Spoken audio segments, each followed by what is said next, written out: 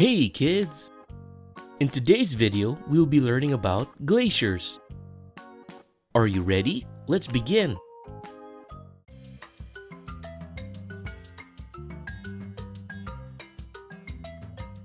A glacier is a large area of thick ice that remains frozen from one year to the next. Glaciers also slowly flow over the land. Thousands of years ago, large parts of the world were covered with glaciers.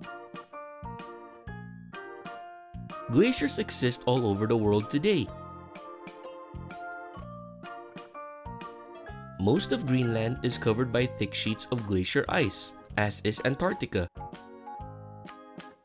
There are small glaciers in the Rocky Mountains of North America, in the European Alps, in the Andes of South America, and even at mountainous points along the equator.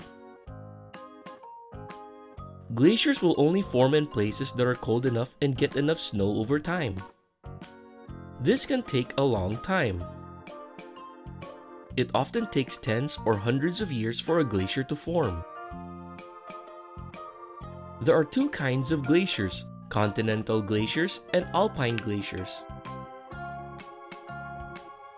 Alpine glaciers are also called mountain glaciers. Continental glaciers are glaciers that spread out over a large area of land. They were created mostly during the ice ages a long time ago. There are still some continental glaciers in Greenland and Antarctica. They often flow downwards into the sea and break up. The broken parts that float in the sea are called icebergs. Alpine glaciers form in mountain areas. They are smaller than continental glaciers. Alpine glaciers usually flow until they reach a point where the temperature is warm enough. Now here are fun facts about glaciers. Glaciers currently cover 10% of the Earth's surface. During the last ice age, glaciers covered 32% of the Earth.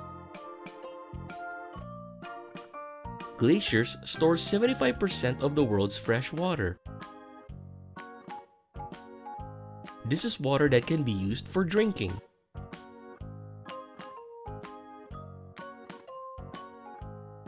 If all the glaciers melted, the Earth's ocean would rise 230 feet. Glacier ice sometimes looks blue. This happens because the dense ice absorbs other colors in the color spectrum but reflects blue back. And that is all for today's video. I hope you enjoyed learning about glaciers today. Take care now, bye bye! If you enjoyed the video and want to see more videos from us, please click the subscribe button. Also, give us a like. That will help us. We thank you so much and we do hope that you enjoy our videos. See you soon!